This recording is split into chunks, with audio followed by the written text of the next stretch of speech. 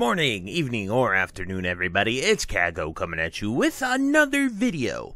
So, today I'm going to be teaching you everything that I know about Demonology Warlock, how to play it from basic rotation to the more intricate things like putting a campfire down to increase your spirit by 4. Because, yes, it actually does affect your DPS and matters a little bit. This video is coming after someone uh, requested it on one of my other videos if I could show them how to play Demonology Warlock, and I figured, you know, I have played it for enough time to sort of have a advanced grasp of how the class works and figured I would take the time to share that with you guys.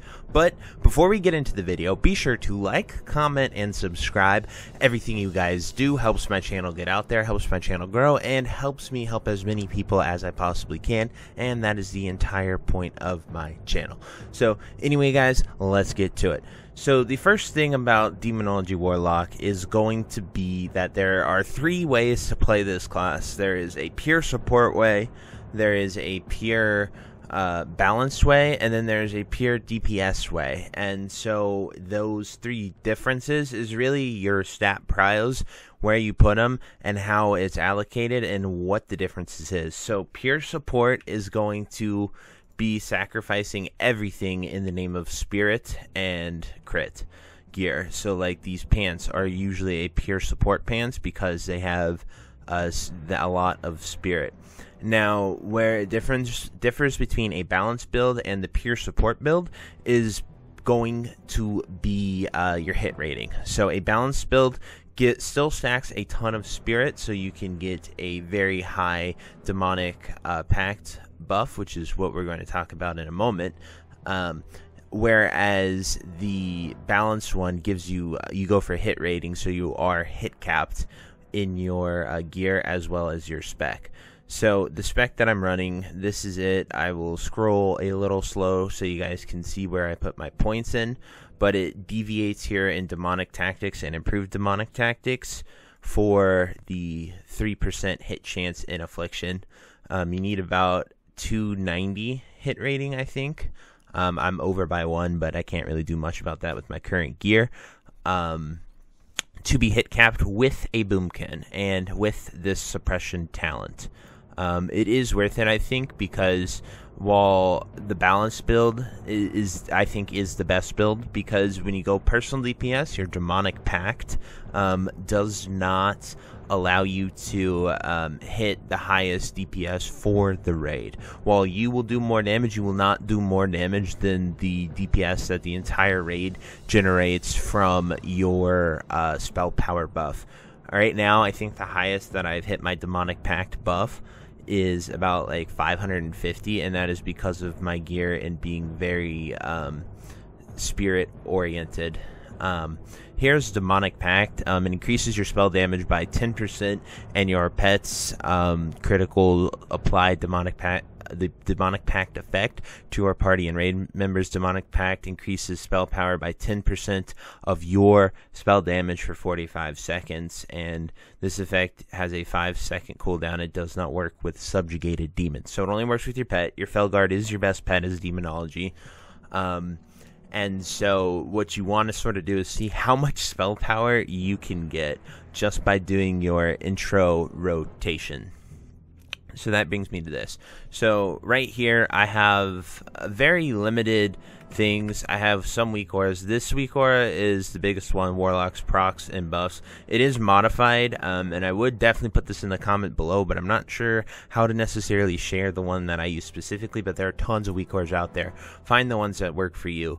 The other one I like to use is Healthstone Raid Usage Counter. Show It's just a little counter that shows me how many people are using it. So when that number is high, I can sort of drop a soul well. And then Warlock Life Tap re- reminder when I run out of mana, it'll make a noise and tell me to life tap. So those are just the three things. This one is definitely the most important because there is so much you have to track. That is what you see right here. So what you're going to want to do is get a well food buff, which you're going to want all spell power. You can use firecracker salmon, or you can use fish feast if your raid group is dropping those. They definitely help a lot. So we got that buff down. Then we're going to drink a flask of the Frost Wyrm. We're going to make sure our Fel Armor is up, and then we are going to use a grand Firestone. um, for Demonology. This gives you uh, increases your damage dealt by your spells and increases your crit rating by 196. So those are the basic buffs. Now, if you're really min-maxing, you can use your tailoring buffs. These are haste by 20%, health regen and mana regen, and your critical strike rating. These are made by doing your Ebonweave Moonshroud Spell Weave. Um, they last for 30 minutes, um, and uh, to my knowledge, they do not get removed in raid, as well as engineering. Now, if you're going for personal DPS, you won't use the 28 spell power in your gloves, and instead you'll go for your um, hyperspeed accelerator, which increases your haste by a ton for the gloves. Um, I'm going with spell power just because I want to give people the highest amount. And nitro boots are really helpful. They give you 24 crit and they let you uh, run very quickly. So engineering and tailoring are the professions that I would recommend as a demonology warlock. So now let's get into rotation. Now that we are fully buffed. Um, another thing to men- uh, mention is your life tap when you have um, your four set. We it gives 300 more spirit, and the glyph of life tap is going to be a must because um, you gain 20% of your spirit as spell power for 40 seconds. Um, I also use Glyph of Quick Decay and Glyph of the Felguard. I think these are the best. Then minor glyphs don't really matter, but it's Drain Soul, Soul, and Unending Breath. They're just nice to have. So, anyway, we have our entire setup here. So, the very first thing that you are going to do in a raid encounter is you are going to life tap at about one second to pull time. We'll even do a DBM pull timer just for you guys here. We'll set it to 10 seconds. So this is what we're going to be using. Um, and this is what I do every raid. So we're going to life tap here. We are going to pre-pot. We are going to then cast a shadow bolt first. We are now going to metamorphosize, put immolation, use doom, immolate, corruption, and now we are going to look at all these uh, procs and stuff. Since everything is proc now, we're really looking for our Demonic Pact buff to be procced, and there we go, it just procced. Unfortunately, it took a little bit, but we have a 422 spell power buff. And then what you want to do is just cast Shadow Bolt and maintain your dots. So try to clip your dots towards the end of your metamorphosis because you want to make sure that they clip for the highest amount and now you're just on rinse and repeat here. So you're going to be casting Shadow Bolt, you life tap when you need to, and then make sure none of your dots fall off and try to manage them. So when your dots are at about two seconds left, that is when you're going to pocket. Anytime you get your decimation, you're going to be incinerating. Um, just until it is at 35%. Once the boss is at 35%, you are going to then um, look to only cast Soulfire, and you actually are going to maintain your dots. Definitely try to make sure that you keep all your dots rotating constantly. It's very bad for you to sort of go um. It's very bad for you to manage, mismanage your dots. I'm not doing the best job right here in this example because I am sort of um, showing you guys. As well as if you are an engineer, you can also throw your Saronite bombs, but that is pretty much the um, general rotation. Now I have it macroed into my Shadow Bolt and my Seed of Corruption to make my pet attack. Um, but that's the general rotation for you guys. It's life tap and pre wild uh, use potion of wild magic. Then you're going to cast first shadow bolt. As you are running in, you can put on corruption and curse of doom, and then immolation aura. That's usually what I do. Um, definitely keep in mind some bosses it is not worth to be up close to use your immolation aura. Two bosses right now that I would say not worth doing is Grand Widow Faerlina because she will uh, silence you and it's just not simply worth it. And then another one is going to be Heigan the Unclean because you have to dance. Um, and if you touch him, he gives you a very lethal disease. So being close to him is pretty risky um, I would not recommend going in for the immolation aura on those bosses.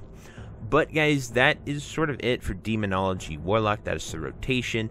That's everything I do. Um, as I to show you guys an example. So look at my spell power here. It's two 742 we life tap and just life tap, it goes to 3073. Now I'm going to show you what it is with the uh, fire down, just so you guys have an idea of how much it actually does matter. So now that we have our four spirit buff, that increased our spell power there. And okay, that our sundial procs, so we're gonna remove that. But there you go, it's 3076. So just putting down your campfire actually does increase your spell power, and it can actually lead to some pretty uh, good uh, difference. So as you saw, it's just two spell power, nothing too crazy, but you know, it's every little thing, every min maxer, everything just gives you a little bit extra damage. So that's pretty much it for the video, guys. I really hope you enjoyed this. I hope it helps you play Demonology Warlock. If you have any questions, anything like that, I'm definitely happy to help answer them the best I can. I'll be honest with you, I'm not the best Demonology Warlock in the world, but hopefully I can sort of, I know the steps, and hopefully I explained it really well for you guys to sort of understand, and I hope it helps you a lot. So anyway, guys, I'll see you next time. Bye-bye.